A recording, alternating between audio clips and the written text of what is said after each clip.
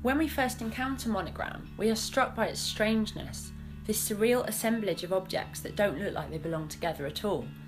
What we're looking at is a stuffed Angora goat, encased within a car tyre, standing on top of what looks like a wooden plinth, but on closer inspection is actually an abstract painting.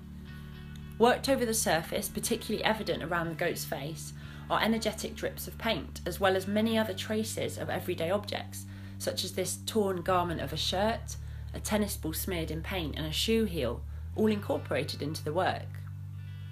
The piece began as a painting, we can see that at the bottom, and as the story goes, Rauschenberg saw the goat in a shop window of a second hand store close to his work.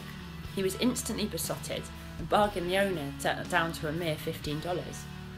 He had worked with tyres before, evident in his seminal collaborative piece shown in the first room of the exhibition, Automobile Tyre Print from 1953, in which he directed composer John Cage as he drove over 20 sheets of paper out on the streets of lower Manhattan. Once he had his go, Rauschenberg assembled the different elements into the ambiguously titled monogram, and in doing so created a revolutionary new art form, the combine, something that blurs the boundaries between painting and sculpture, as well as creating one of the most important works of the 20th century.